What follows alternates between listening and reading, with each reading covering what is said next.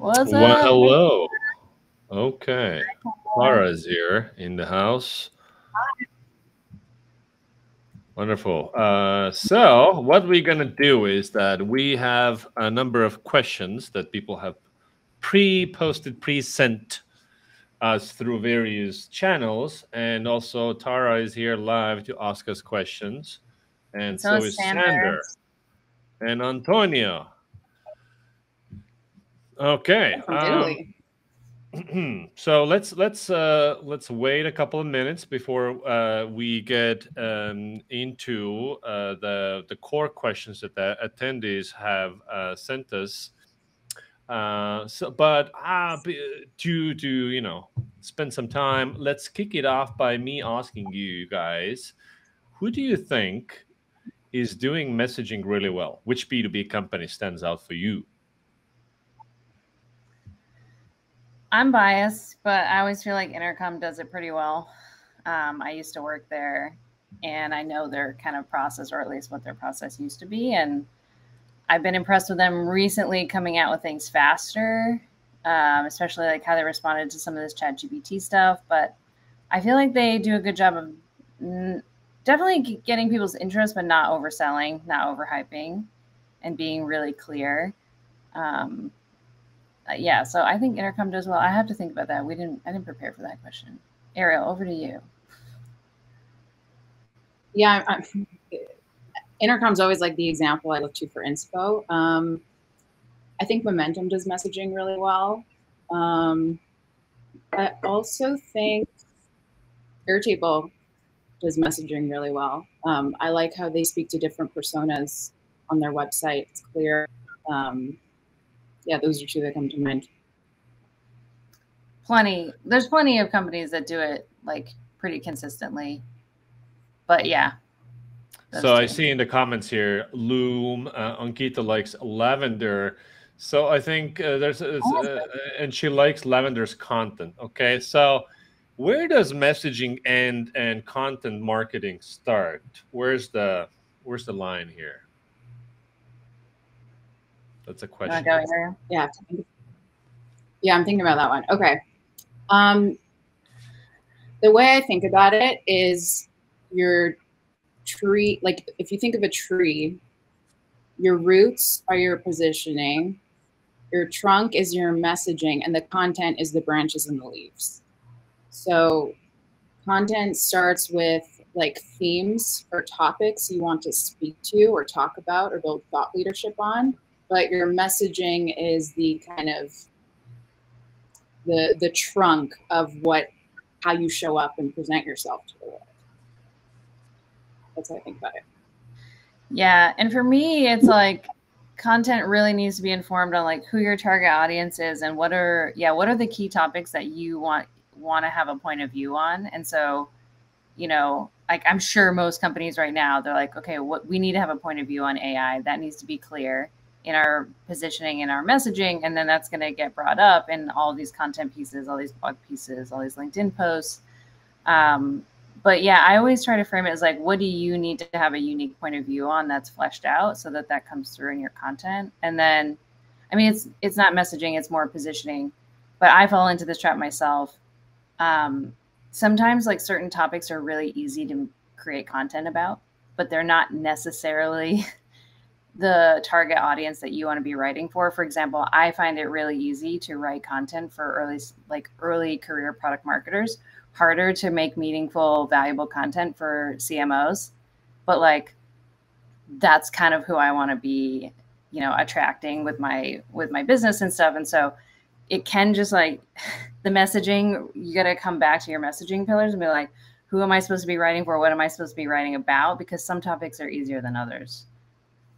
Hmm Totally. So messaging is not about the website, right? Messaging is just what do we, what is the story we want to tell to the market? What are the three ideas, three to five, whatever number of ideas we want the market to know about us? And content marketing then is using a number of channels to get the same messages out there. So whether it's LinkedIn, Twitter, or your website, the message should stay the same. Uh, okay, so we have a number of people here live with us. So how this is going to go is that, guys, I would ask you to please post questions in the chat here, and we will talk about these questions. Uh, while you're thinking about your questions and writing them up, we're going to start taking questions that some of you have pre-sent us when we were first promoting this AMA session.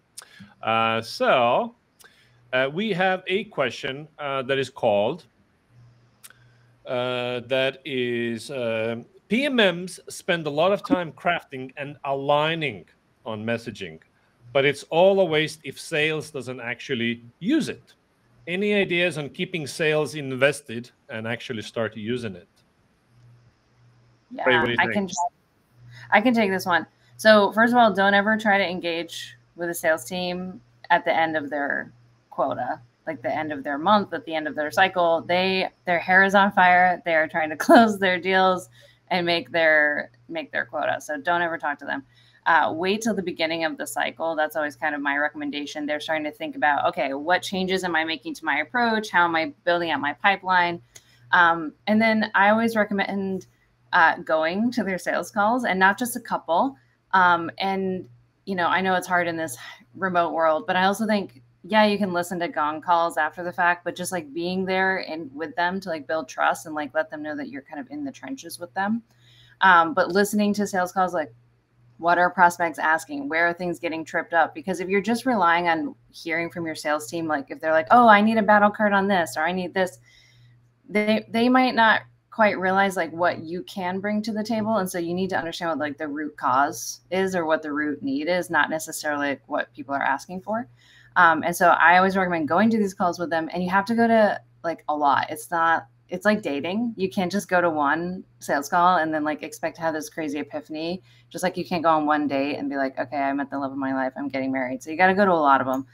Because um, I've seen a lot of PMMs. I'm like, you should have sat on our sales calls, and they're like, yeah, I went to like one or two, but it wasn't useful. I'm like, well, you gotta you gotta do a little bit um, quantity there, and then yeah, listen to what they're asking for and try to understand what they actually need, rather than just knee jerk reaction to what they say they need.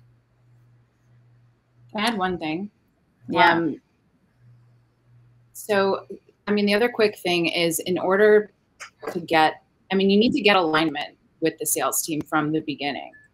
Uh, and so if they're they need to be invested in it and feel like this, you know, they agree with it, that they contribute to it. So whether that working on the positioning and messaging through workshops or whatever it is, um, whether you're bringing in however many people from sales or the VP of sales or whatever, it's including them in the messaging development process. Uh, so they feel like, yeah, we're not, they're not just being handed something um, there was internal alignment driven before, like output of sales development and stuff like that.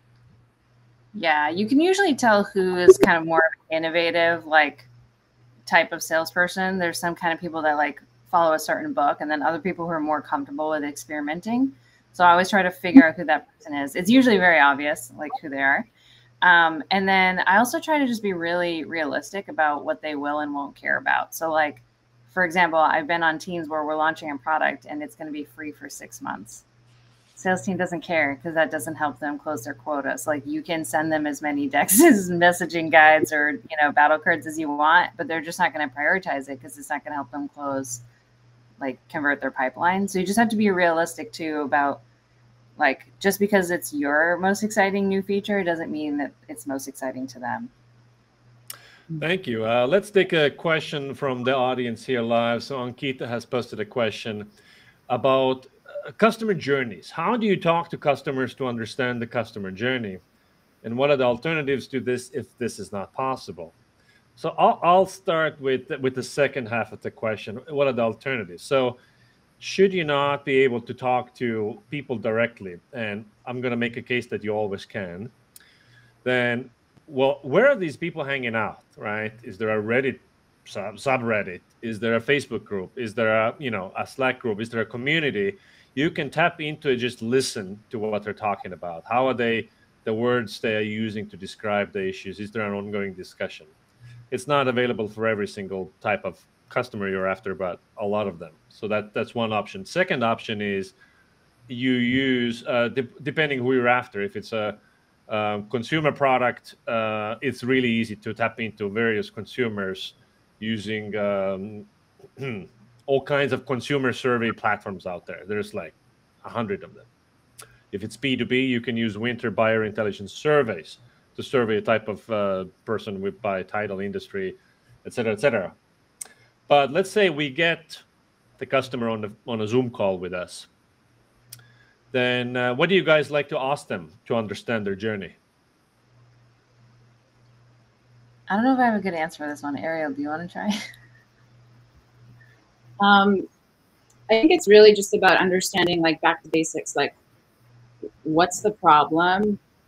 When did you recognize you had it? What have you tried to do to solve it? What was it like trying to find solutions to your problem? Have you tried other things? Um, and then what brought you to this product or what we're selling? Like, who did you speak to? Um, what are you considering? Is there anything that help, is going to help you make a decision? So just some of these like basic questions can help you understand number one, like what they've, like what their journey has actually looked like, or what you might be able to create to further, to progress the journey um, to get them to buy. So just some simple questions. Yeah, you yeah. can use various uh, jobs to be done type of um, interview templates. As in, like, what yeah. happened in your life when this issue came up? Like, you know, I was mm-hmm. walking my dog, and then the dog shut on the, you know, on the road, and then oh, that's when I realized I need the gloves. Uh, yeah. You know, or yeah. or also like you want to use what uh, you want to understand what did they use as an alternative. So if you don't buy us, what do you mm-hmm. do instead to understand where their mm-hmm. mind goes?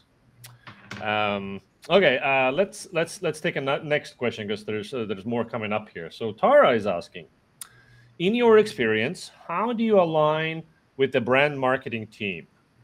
PMMs are more focused on the product, but sometimes the messaging can overlap, especially when the main business is tech. We seem to align, but I, I am interested to know any other experience. Yeah, for me, especially in the early stage, it's probably going to be more product led messaging. Um, you know, I think as a consumer, you know, and I think marketers we lo- we love to talk about like what's your why and and being like really mission oriented, but I I just think that that's hard to do. Um, uh, one, like I don't think buyers necessarily care that much, um, especially if you're selling like live chat or like email. It's like okay. Not every SaaS product is changing the world. Not every email marketing tool is like, you know, sometimes it's just an email marketing tool and that's okay. Um, and I just don't think, I think it's too far removed to be like, oh, we're making the world a better place by, you know, making your work faster so you can get home to your, I don't know. I just like, that's just like a little wishy-washy. And so I think for most, for most companies, it should be product first messaging. And then that brand story can come through you know, in your about page and and you know in the interviews with the founder or like a keynote talk or whatever. But like i think for most part your website should be down to brass tacks product differentiated value props and save the kind of brand messaging for the podcast guesting and you know the about page. Um, that's just me. I, and i think yeah i think bigger companies they tend to lean more into brand like you see you see like Uber billboards or whatever, and it's like moving people. And, you know, that wouldn't have worked for them early days. They just needed to be very clear about what they did. So I, I tend to lean away from brand messaging as much, unless you really are actually like a climate tech, like, you know, saving puppies kind of business. But what do you think, Eric? Yeah, I have to. No, I have to agree. Um, I've only really, I think companies that actually have brand marketing teams, at least if they're B2B SaaS, they're usually much bigger, larger, established companies where the brand marketing team is kind of doing something a little bit different than product. Um, I'm not too sure. Maybe it's different with B2C. I'm more in B2B.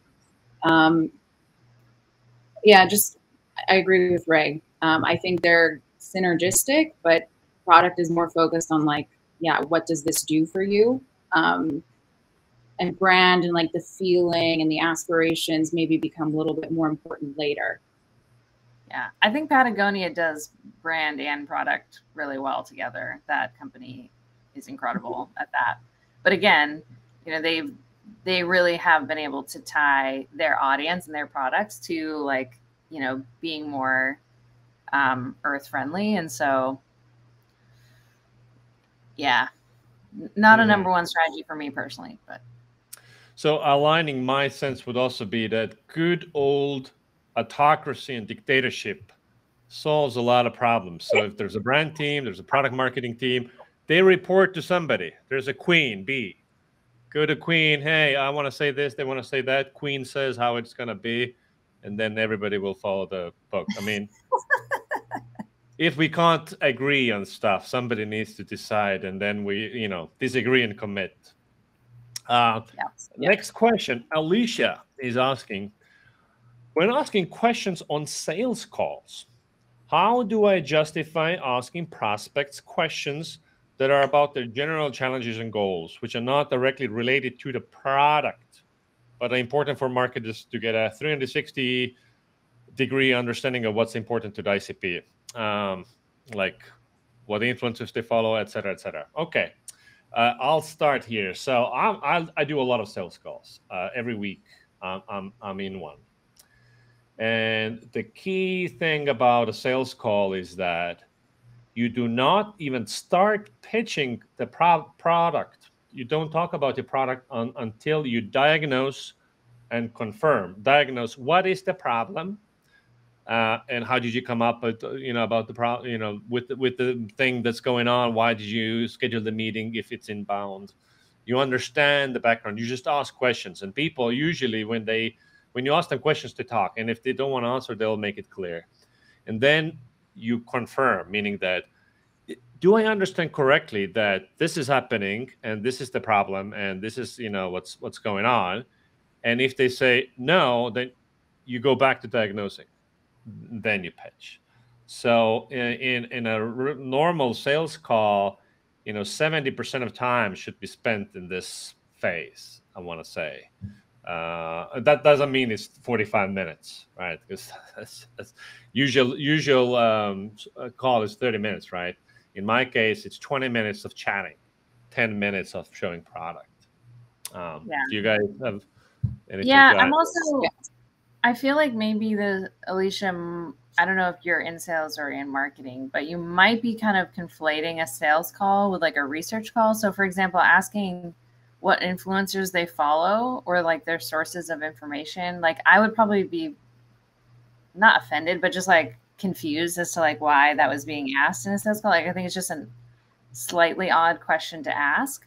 I I find though that prospects are love talking and they love talking about themselves. So it's more like more open ended, like rather than being like, well, are you following, you know, who are you following? More like, you know, like what is part of like helping you what's helping you make this decision like what what um you know like what kind of things are important to you or like what's going on with this problem and then people might mention they're like oh well i saw Peep talking about this thing or i saw like but i just think it's like a little bit more of a market researchy question and that people so are survey your audience right send the survey uh, yeah easier less friction way so i agree that I agree with why they probably feel like it's not relevant because it's just like kind of an odd question to ask in a sales mm-hmm. call.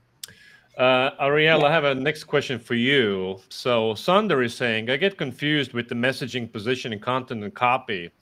You mentioned the tree analogy. Are there other quick tips and tricks to remember what is what and how to explain it? Yes. Okay. So I think that I'm pulling this if I'm pulling this correctly from the course we did, but positioning is, um, I'm going to mess this up.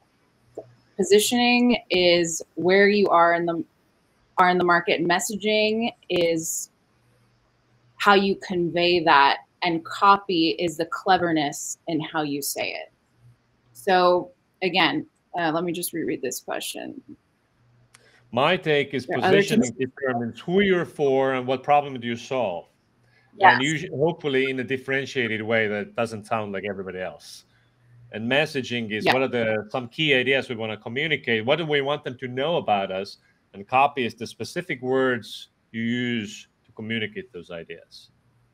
That's my take. Yeah, you, and you, yeah, and you can think of positioning. Um, you know, if you go to look at someone's site or you know you're trying you can't really see anyone's positioning it's very hard for you to say this is this company's positioning when looking at other companies positioning we're always kind of guessing based on the messaging we see on the website based on who we interpret they're speaking to um, so positioning is kind of this these the root of the tree you don't see them they're there and the messaging is okay how are we communicating the problem to the persona you know what's clear about the value we're providing the problem we're solving.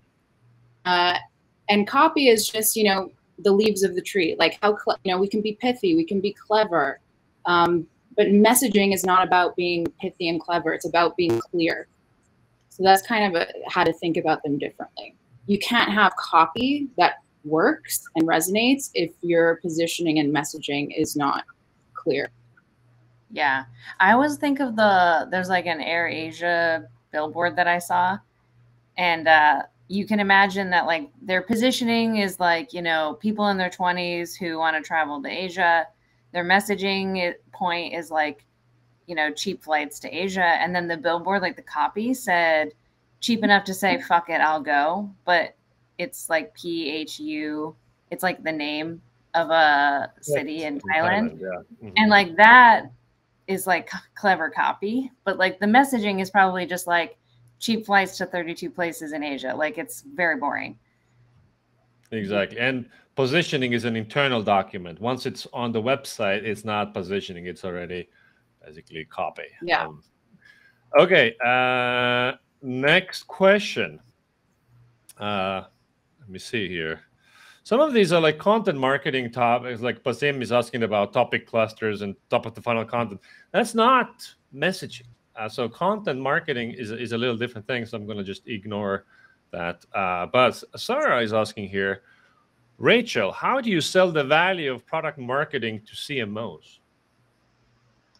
Good question. No, no, no I'm just kidding. Uh, I think, you know, I think for me, the, the angle is, you know, positioning and messaging impacts literally everything you do. You know, it's the story that comes up in your fundraising pitch deck. It shows up on your landing pages, shows up in your sales decks, and um, at your, you know, live events that you're hosting. And so, it's just such a fundamental part of your entire go-to-market strategy. It impacts, you know, the ads you run and your targeting. And so, like, to me, you know, it's like building a house on sticks instead of like a concrete foundation. I do feel like CMOs, for the most part, get that. I mean, you know, there are a fair amount of CMOs who come from more like a communications, like PR type of side. Um, but even they, I feel like, understand the like importance of positioning and messaging. Um, so yeah, that's that's not that hard of a play. What I think is actually a harder play is to convince people that you're the right person to help them do that. Um, I, I, think they know that it's important. It's just who and how are they going to do it. Um, you know, I, I see a lot of companies kind of reach out to these really sexy brand studios who I feel like don't have a lot of skin in the game. They like they kind of do this like big beautiful presentation and then they're like okay bye but they're not like in the trenches with you like looking at conversions going up or down down downstream of the work. Um yeah that's kind of my take there. I feel like cmos know. Yeah sarah is that i see working at meta so i can only imagine the complexity of that organization. Um, so i don't know anything about that in a less complex organization, if I were you as a product marketer, I would try to own a metric that is um, that is just uniquely you, if you, if you can. it can be uh, a blended metric, something like I think uh, Chris Walker Refine Labs uh, has like uh, website acceleration something formula uh, like it's a blend, uh, blended metric, or you can just own conversion rate, website conversion rate, because the most powerful part of the conversion rate is do people wanna want what you offer? Do they want to get a demo? Do they want to sign up for a trial? Right, and that's that's how you convey the value, which is the essence of product marketing. Okay, more questions. Let's uh, let's move on. So, uh, Guy is asking, I want to make SaaS sexy. What's the best way to do so? Hmm. I mean, I don't know if SaaS is sexy, but okay. Yeah. I think. What, well, what I think- SaaS is about, huh? Peep's bringing sexy back. Uh, Well, I think um, maybe this is a bit like controversial, but I think like sexy i- is maybe more about brand. I think strong positioning and messaging care about being sexy. It cares about being clear and speaking to pain points. Um, sexiness is maybe more of a brand thing, depending on how you like to show up online. yeah, more visuals. Yeah, Yeah, more in your visual representation. I mean, it's also the fact that there is no best spaghetti sauce, right? You like one kind and I like another kind. So, what is sexy needs to align with our worldview, and those can be. Is, is Fox News sexy? I mean, I, I bet it is for some people, right? And so Yes. you need to appeal to a particular worldview. Uh, it's not like uniform. People are different. Um, Yeah, when we when we work with a lot of developer like developer tool type things and like what developers are intrigued by and find sexy or like compelling it's just like completely different from the type of things that i'm you know interested in. Like even my husband who's a data scientist we were looking at some website recently and he i was like just kind of scrolling. He was looking over my shoulder he's like oh it does that? Oh my god. He was like and i was like what? I, I don't even know what you're talking about. So yeah, I think it's really about knowing your audience and trying to Mhm. really understand that- what them up at night. Let's, think let's the other take a more specific question. Sorry to interrupt you. Um, Yeah. Let's take a more specific question that is better to answer. So, uh, Vaishnavi is asking, as a PMM, how can I crack the messaging for my product if we solve for three different personas?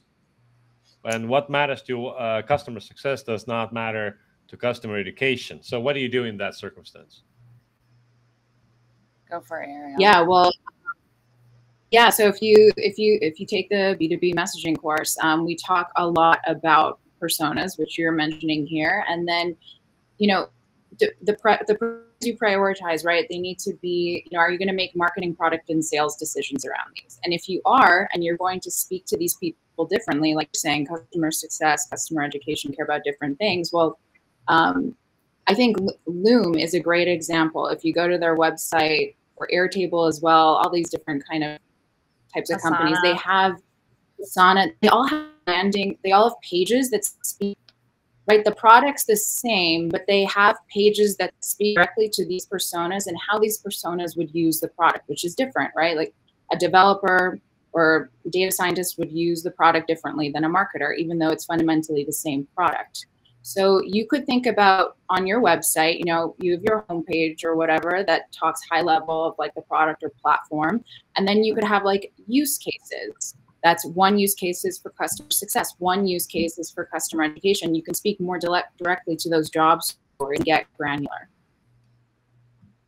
hmm Yeah, I like to know like, is this for me? Am I in the right place? Like when I got to this website, I don't want to be doing any mental gymnastics to imagine how I would use this product. Like, you know, I understand, you know, I'm a smart person. I can read, I can understand like, you know, the building blocks or something. I think Zapier is a good example of like, it's a very powerful product. I understand there's like integrations and tools and stuff, but it can be very overwhelming to like imagine how you would use it. And so I think Zapier really has to get their personas and their segmentation right because like as a marketer, I'm going to use Zapier completely differently as someone else would. And so just like not making them interpret or guess how they would use their product, use your product and kind of speaking like, so even though for Asana, the pain point is like be organized and save time, you know, the way I'm using it is like for a product launch or, you know, getting my content calendar like tightened up, those types of things. So yeah, making sure I'm in the right place and I don't have to like do any mental gymnastics to imagine how I would use your product. And self segmentation. So if you have multiple personas, have them self segment, go down a different rabbit hole, um, things like that.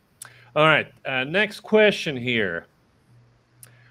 Dor is asking, how will messaging be different for new versus existing markets? Where should the focus be for each? So I'm guessing the the idea here is that uh, they have an existing core group of customers and now they want to expand to a new persona. Oh, I see. I see. That's my interpretation anyway. I mean, my knee jerk reaction to that was like, there aren't really a lot of new markets. Like, anytime I hear someone talking about like category creation, I'm like, mm, are you category like creating a new category, or are you just really positioning yourself in a different way? But uh, yeah, if you're expanding to new markets, I mean, probably it depends on how familiar they are, but it's probably gonna be a lot more education. Um, I'll use Asana as another example. Like they went public, and I've been kind of watching them, and pretty much, you know, with our clients, like every marketing team we we work with uses Asana, but every dev team doesn't. And so, like, you know, I think like, is Asana ever gonna like try to tap the developer market, or is that always going to be like in Jira?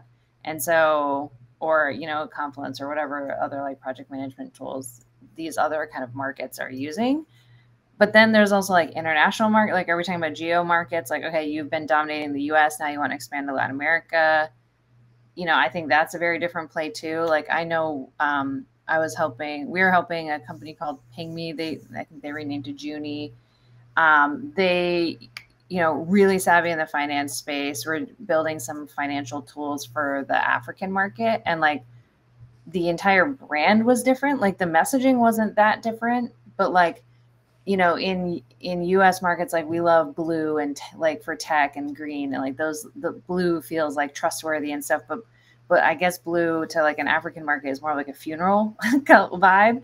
And so, you know, they liked things like purples and pinks and yellows and so I, I don't know, like it depends what market you're trying to expand to. Are you trying to expand to a different vertical within like the US tech market? Are you going international? Are you actually trying to create like be a market maker? Like I think Uber was an actual market maker. Um, you know, the cab drivers were really mad that they were getting um, deals like customers were switching to Uber, but I never actually took yellow cabs in deep Soma in San Francisco before. So I, I would argue some companies are creating markets. I actually just to quickly add, simplify even more. I think it, it doesn't matter, right? The job story, like what they're trying to do, what problem they're trying to solve, whether it's a new market or not, is probably the same. As long as you identify the right, the correct job story, I don't think it matters if it's a new or existing market. Mm. There's a lively discussion about the metrics uh, PMM should own. You know, like can't own conversion rate because of it's too complex and more goes in there. My th- thinking is yes, and it is complex. But if you, I think you go for a bullshit metric like win rates, it's even far more removed from from conversion rate. Like PMM, who sends a deck to a salesperson who follows up 20 times, seven months of pitching, and you think PMM takes any credit? Ah, please. I, I just do not uh, agree. And any polling also it's like so weak. Until PMMs use weak metrics that are far removed from direct impact, they're always going to be deck monkeys. And so PMMs need to say, fuck it, I'm going to own conversion rate and fuck you guys. Well, that's my personal point of view. Uh, Mickey Mouse metrics lead to Mickey Mouse power in an organization. Uh, yep, I agree. I agree. It's the same thing of like, you know, ask play stupid games, win stupid prizes. Like, you know, it is hard, but I think PMMs need to take a note from growth marketers here and look at the entire funnel and try to own and try to take responsibility for those things and work with product and sales to to really help yourself be accountable and take some skin in the game, like looking at, you know, not just conversions, but churns or whatever, uh, churn, you know, expansion. But yeah, I just feel like PMMs like they like to be esoteric and I, you know, they like to be like, oh, well, it's strategy. And um, yeah, just like take a note from growth marketers and like look at the funnel, try to like tackle a metric, try to own a metric, try to improve the metric. And then you can like say, okay, now I'm going to focus on churn or now I'm going to focus on expansion, you know, some year later or whatever. But yeah, I agree with Peep. Like, put some skin in the game. There's yeah. a reason why demand gen's budget is, you know, a few, you know, zeros bigger than product marketing yeah. uh, ever is because uh, they know their metrics, right? And CMO knows, and when there's layoffs or budget increases, we know where the money goes and who's who's going to get laid off. Mm-hmm. Uh, and maybe we need to redefine what a PMM is, right? Uh, so that's also like managing up, and I and it's it's definitely hard. Not saying it's easy. Yeah. Um, okay. Uh, somebody asked a very practical question here. The practical question was uh, what methods do you recommend for transferring your messaging storylines to copywriters, social media folks, especially when they're outsourced? So basically, how do you convey what our messaging is to third party people? A messaging guide, positioning and messaging guide. Um, Where does that live you know, and what does that look like? I mean, it can be different for, for different folks. You know, you can have it in a Google a Google Doc, right? That's like a three four page document that's like, you know, this is our pitch, our product's benefits, our features, value props, uh, um, like key personas. You know, it doesn't need complicated. Um, and the other thing to think about too is just um, at least with personas, right? We want something that's, you know, what are the key pain points, goals? What do they care about? How do, how might they use the product in a high level, easy to digest way? Um, you can also convert that into like a, you know, a, a, short slide deck that's visually designed that's even more easy to digest than like a guide that's three to four pages long um, that you can share with like copywriters, etc. Um, yeah. Yeah. For me, the key is the messaging guide has to be short, like, yeah, four pages like tops. And you know offer links for people to double click and be like okay really high level these are the this is the pitch to the buyer this is the pitch to the user you know. But then like have them double click in if they want to learn more. But so many times first of all if you don't know what you're saying you'll say a lot. And like a really long messaging guide isn't a messaging guide. That's just like you know a dictionary of all the things you might ever say ever but it's like no be really clear like these are the three four points we're really trying to go after. These are the three, four personas we're really trying to go after. Don't be coming in here with 12 personas and like 16 point messaging guides. Like, no one's going to follow it. No one's going to read it. So you got to be like really succinct. And then if people want to double click and read more, they can. Um, but yeah, my biggest problem is they're always like too long and wishy washy. It's like, be clear. Mm-hmm. Yeah, like and at Olivine, we'll do like a persona, a personas deck, which each persona gets one slide. But then we link to, hey, want to learn more? Click on the personas report we did. That's sometimes like 25 pages. So, right, we, we start with high level. And if you want to learn more, sure, go here. There's a follow up question of like, uh, how do you ensure uptake, which I guess is like, uh, how do you ensure compliance? Well, I mean, if you outsource on a content piece to, you know, Vishnu from Upwork, do you just publish it without reading it? No, I mean there's some Q and A, right? There's some back and forth, editorial process, so that should um, take care of it. I think it can be in mm-hmm. your editorial checklist too. It's like, you know, when I'm reading a piece, I'm like, first of all, is it interesting? Because if it's boring, just get out. I don't care. Um, you know, is it clear who this is for? Is it clear like what is the clear value takeaway? You know, and how does this align to our bigger, like our bigger goals? Um, so I think that can be part of your editorial process, not just like, you know, grammar and typos and structure, but like strategy, like impact to the business. Mm-hmm. I think uh, the, the other related. Oh, go ahead.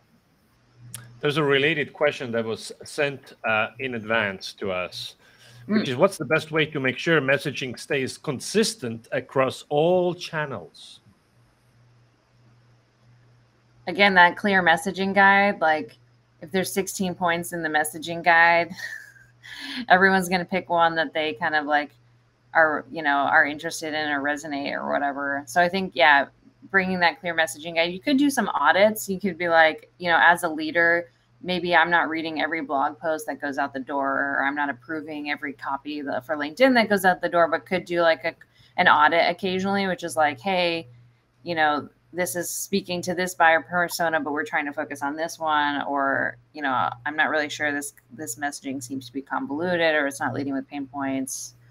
Um, but I also feel like there's some, I don't know, some companies I think are too they're so tight on it that they can't like ship and publish and iterate and like test. So you kind of got to get like I know Peep you're posting like a ton of great content like memes like you know some of these memes that like really pop and like get you you noticed are they like necessarily tying to like your messaging guide? Not necessarily well i'm a personality. I'm not a you know the corporate brand. It's aligned but it's not i post shit that i wouldn't post under the company yeah so. of course yeah I think the crux uh, of this is like, I mean, you don't want to be micromanaging people of like, are you adhering to this specifically? But the, the crux of it is when you're rolling out new messaging, you're sharing a guide, whatever it is, the process of getting to that guide, like, were the right people and leaders involved in developing that messaging? Because if they are, they're going to help you ensure that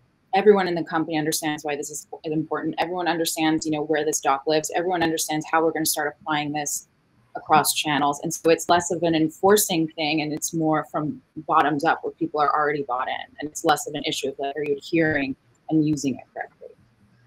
Also, sometimes like product marketing or even like marketing leaders or they like to like drink their own Kool-Aid and they just think that like you know this messaging is incredible but if you find yourself like people not sticking to it like i've seen a lot of pmms get like mad at sales for like switching the deck around and it's like right but it's their quota like they're trying to close like they they you know if people are not following your messaging maybe figure out why. Maybe they don't think it's good. Maybe it's not resonating. You know that yeah, might be a sales found a message that works better right? Yeah. Um, there's a spicy question sent by Jeff. Uh, oh, I love spicy questions. What should you do when a competitor with more reach steals your messaging deliberately or you know by accident? So, you know, we, we talk about differentiation and oh, you know, tech is a you know, it's a commodity. Everybody can copy every feature. Well, copying every word is even easier. You know, I can do it. I can copy your messaging in the next two minutes. So, what do you do when that happens, especially if it's a more powerful competitor? I've had my work copied, stolen, used so many times. You just gotta, some of it more blatant than others, but I mean, yeah, you just gotta stay in front of it. You gotta just like keep keep being better. Um, I do think like punching up is different than punching down per se, but I think everyone's understanding of what is punching up and down might be different. Like I still think of myself as like running a small agency, but maybe other people see Olivine as like a bigger fish. I actually don't know. Um, yeah, I don't know. Arielle, do you have a good example? Good answer. I'm sure. I mean, I, have seen this. I've seen this happen with like clients I've worked with. Um, and then at least in my personal experience, is we're constantly, oh, you copied us? Okay, what's our next thing? Like, what is an even better message or even a more forward type of um, North Star for us? How can we, we're, we're typically the, the bigger fish is a bigger company, makes them a bit slower, not always, but tip, some often. And so if you're the small fish, the newer player, you can more iterate. And so it's really just, yeah, constantly, oh, they copied us. Let's switch it up. What can we add? Yeah. What can we that's what I've seen play out. I can add to like products. Oh, sorry. Go ahead. No, and I was just saying, and then they're playing catch up. So, yeah. It also comes down to product. Like, you got to find if your product's not differentiated, like you're constantly going to be in this copycat game. Like, you know, um, but like when I was at Intercom, we were launching like the operator bot that lives in the messenger. Um, this was years ago, like 2000, I don't know, 17 or something. And Zendesk was definitely the incumbent on the customer support side. They pre-announced a bot. Like we were first to actual product market, like actually to the market, but they were first to announce. Um, and you have to find the story only you could tell. So like at Intercom, we were kind of punching up at Zendesk because everything that they did, their entire product ethos was built around tickets and it's like you were you reach out to support and you're like thanks for you know your question your ticket number 67,000 million whatever. And so like sure they could try to copy this feature or that feature but fundamentally they were built on tickets. And so that was kind of our angle. So I, I think you just like got to go deeper and figure out how you're differentiated on product. Exactly. I think like if you're just a commodity type of provider where it's so easy to say that you also do these things, and it's going to happen to you forever, right? And if you're a smaller brand, um, which means that you're a challenger, you need to take an edgier position. Uh, you can have an edgier worldview that is too risky for the bigger incumbent to copy because they will be risk averse. So if, if the competition is telling the same story that, uh, or if the whatever story your competition is telling and it's working, then you can't tell the same story to the same people, even if you tell it louder or with more style. And so you can find success by telling a different story to uh, a part uh, part of that community that has a particular maybe worldview that's different from the um, you know it's the Zendesk tickets versus uh, I don't know what Intercom said, but that's a worldview difference, right? Um, so find a worldview, which is you know not easy to do, but if if if if you're edgier, then they just can't copy you. Yeah. Um, another question here is everyone knows that you can't build messaging without vetting it with your customer first. So, but how do you achieve that at scale and in a way that isn't just an echo chamber, echo chamber for what they think you want to hear? So this is about messaging research, I guess. So uh, I'm researching my ICPs, uh, and how how do I use my research data to inform my messaging? Should I pander, you know, preach to the choir? Do you want to take that, Arielle, or I can go? Yeah, I think, well, number one, oh, do I have Sorry. a lag? I think I've okay. got lag. You go, you go.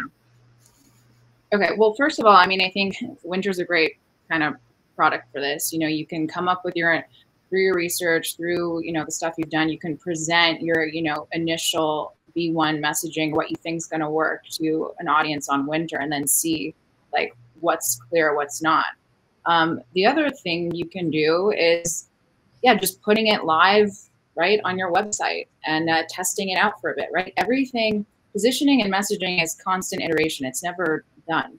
So everything's an experiment, putting it out there, seeing what resonates. You know, if you have some customers that, you know, have been with you for a long time that, you know, really love your product, that you consider friendlies, you know, you could send, you know, your, your new messaging to them and say, hey, like, does this land? Does this speak to why you worked with us from the start, you know, why you continue to stay with us, what, you know, and just get some feedback from some customers you trust. Um, those are just a few things you can do.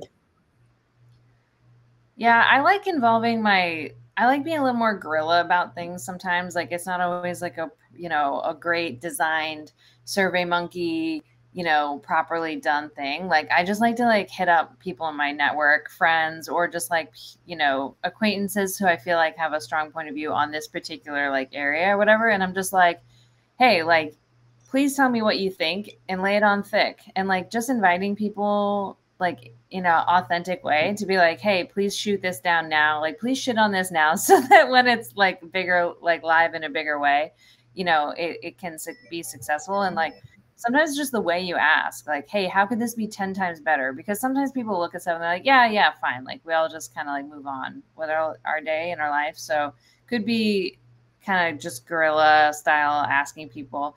And then sometimes it's like things are said in passing that you you weren't necessarily doing proper research, but like um, you know, one person was like apparently had looked at the Olivine website once and they were like, Oh, it seems like you do more like um, go to market and like less positioning and messaging. I was like, oh, that's super interesting because like we start every engagement with positioning and messaging. And like sometimes you just need like a fresh person's perspective to just like tell you honestly. So yeah, I think in a lot of ways it's just how you ask.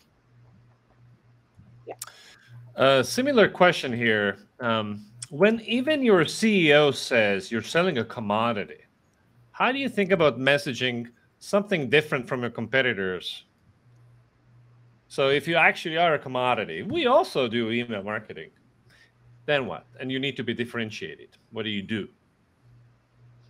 I mean, you're gonna have to stand out and differentiate somehow, either with price, like quality of customer service, speed, quality, preferably all four. You know, you can think about like a lot of consumer brands that are commodities like Domino's. Don't they? Aren't they the ones that did like the pizza in 30 minutes or less thing? Like, I, you know, I, I think like looking at commodity examples, I like to look at bikes a lot, bicycles. There's like a million different types of bicycles. There's a million different types of cars but they all do kind of have their little spot in their like their slot in there. Yeah. Um, so, for instance, Trek, what they did was they they also have a um, a racing bike. You know, I think in, uh, Lance Armstrong, I think, was riding a Trek in Tour de France, uh, and so now there's they're selling Trek through like we're a racing bike, but you you know can also ride a Trek bike. Even though it's not an expensive bike, you know, it's, a, it's an average bike. Uh, and Liquid Death, yeah, Sandra, that's a great yes. example of selling a commodity product. Yes.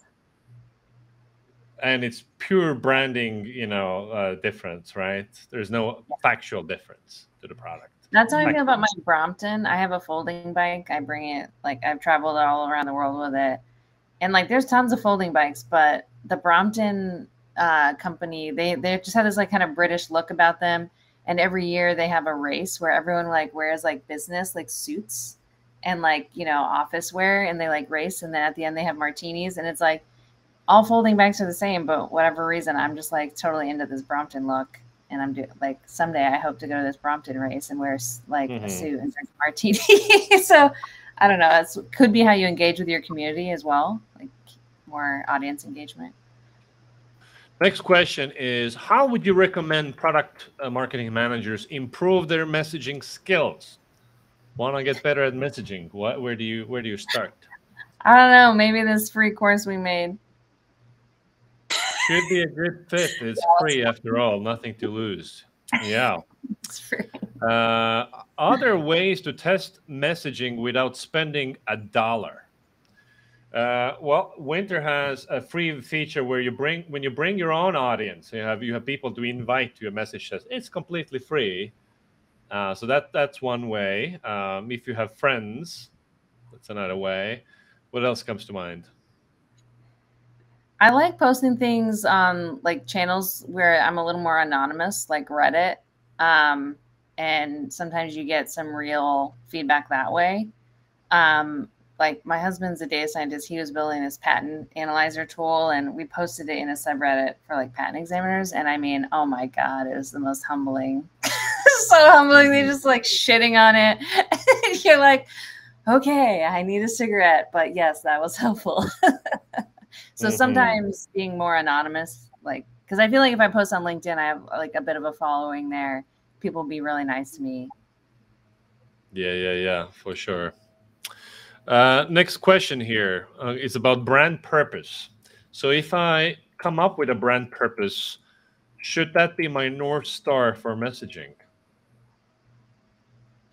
You know, so, uh, if, yeah, go ahead. My take is brand purpose, um, like brand messaging, brand purpose, values, and mission. Um, it, it's useful, but it's separate from product marketing. It's separate from messaging positioning. I mean, obviously, your your mission, your brand purpose, you can think of it as like a kind of north star, but especially for earlier stage companies, like you you want to um, you really want to be focusing on like product positioning and messaging. So brand pur- pur- purpose can be this kind of hot, you know thing you're working towards, and a brand purpose, by the way, should be me- measurable and accomplishable. That accomplishable is word. So like, can you know? Will, how will you know when you've hit when you've accomplished your mission? Um, and that can kind of be like the pinnacle or north star for you know specific positioning and messaging. Um, but it, it yeah it is at least in the beginning it can be still separate right you really want to focus in on the product I also think just knowing like where your brand mission comes in. Like I think your brand mission should influence your product strategy quite a bit. Um, you know, but it's also a great recruiting tool, but maybe not so much of a like a buyer conversion tool. So I think you just have to know when to apply it properly. I think, you know, buyers maybe are a little more self-centered at their own pain points and their own budgets and their own problems. It's like, what have you done for me lately? Whereas, you know, a strong brand mission might attract like a, a better talent pool to apply to your company or might attract better different types of investors. So I think it's just like knowing like when to apply your brand mission, your purpose. Also, there I remember Mark Ritson writing about that uh, advertising study by Peter Field, measuring this was marketing campaigns, brand focused uh, marketing campaigns versus you know not, and and brand campaigns did considerably worse. Um, it's definitely a fit if it's you know if it fits the brand like like you know Patagonia was came up right but if you're a B2B SaaS business, like it feels it, there could be a fit, but it feels like an artificial glow, right? And then people, I yeah. Will so, see through the bullshit. Yeah, it often mm-hmm. feels bullshitty, but yeah. All right, uh, uh, audience question here: How can one navigate being the first product marketing hire at a company? Yeah, Olivine actually has a 30 60 90 day like blog post that without planning to has been like our most popular one but i would really outline you know there's a checklist in that blog post but i would outline you know some goals for yourself and and figure those out with your manager so that like we're all clear like what good looks like I would really try to understand your job description. Um, there can be like a lot of nuance in job descriptions that maybe, or just like un, they are kind of spoken expectations, but not super clearly spoken expectations. Um, and and so really getting clear on that. And like if you're a junior product marketer, you know, please don't show up thinking that you're going to just like rip out all the positioning and messaging, you know, that the leadership team, you know, who's much older and more experienced has been working on trying to make yourself useful. I always try to like find like a small rock and a big rock. So like, you know, what's a quick win I can do? Okay, there's a conference coming up in three weeks. Like, how can I just like tighten some things up, make things smoother, make some my teammates' lives easier? And then, you know, you don't want to be in like a totally reactive world where you're only ever doing small stuff. But yeah, identify a big rock and a couple of small rocks. But what I don't what I don't recommend doing is like trying to tackle like really nitty gritty, juicy stuff like positioning, messaging, pricing when you really don't have like a flavor of the company, unless you were more senior and that was specifically what you were brought in to do. Mm-hmm. Yeah. And if you're the product marketer, odds are people like different people at the company don't even know what your job is. Like, what does it mean to be a product marketer? Mm. So I would say the number one thing you should is building relationships, right? Product marketing is such a cross functional role. Build relationships start educating pe- people on like working on you know what you're you're setting out to do uh, and just building that that trust mm-hmm. well sarah asked a, good, question that you guys might know something about what can you do if you're interested in a career in pmm consulting mm. yeah oh sarah was at meta too um, i would definitely write some blog posts um, i I wrote a piece for Intercom like a long time ago because I had to. It wasn't like something I was necessarily that excited about. Um, and it like it kind of popped, it went well. And then my first consulting clients were kind of landed from that. They're like, Hey, I read your blog post, like, are you available? Um, so I, I think like you know, sharing content on social and blog posts can can kind of help you start shaping how you know your philosophy and how you think and like how you might work with those people um yeah that's probably the easiest thing you can do if especially if you're at a big company like in-house like meta yeah and i think i mean if you're sorry go ahead Oh, no, I was just gonna say, if you're trying to get into like PMM consulting, even from the work you've done in house, what are some key projects you've you've accomplished? Um, you know, start pitching companies on some consulting work, like how how do you want to think about talking about the work you've done and what the, the kind of expertise you've developed? I think uh, consulting is uh, is a business of expertise, right? And how do people know that you have any? You have to show it, demonstrate it on a consistent basis, and so it's the best way is to just do a lot of content marketing write articles active on social run a newsletter do a podcast you know put yourself out there uh, nothing will work on day one but one year of doing this on a regular basis people will want to give you money you know and much sooner than that but you know Yeah. have a long-term perspective And I'll make one note on that because I had someone reach reach out to me recently, being like, "Hey, do you know of any work I can do?" This person has like twenty plus thousand followers on LinkedIn, and I'm just like, if you have that many followers on LinkedIn, like you shouldn't need to come to me to figure out how to eat. Like maybe you're posting, you know, about the wrong content or to the wrong audience, or you're focused on like kind of vanity metrics, like you know. Mhm. I would say like much better to have like a thousand true fans than like twenty thousand unengaged followers. Um, so yeah, I would say like look care like you know it doesn't have to be high quantity. Basically, Mhm. like you can do a few quality things and get noticed pretty easily. Well, okay. Well, I think that's a wrap. Uh, thank you, Raechel. Thank you, Arielle. Thanks, Peep. Thank you, everybody who chimed in. Uh, lovely seeing you. You know where to find us. Yes. Thanks. Thanks, everybody. Have a good one.